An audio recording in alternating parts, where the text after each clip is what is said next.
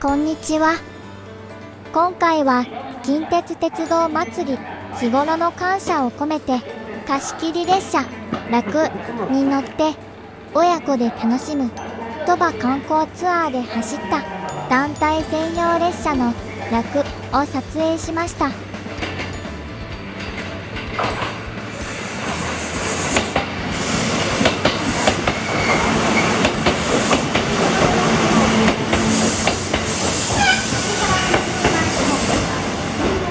ゃれな絵ですね。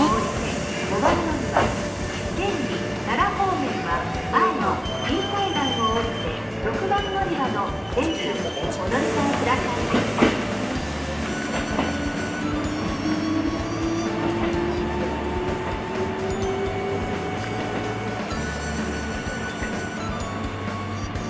エンジョイとバゴー特製ヘッドマーク付きですね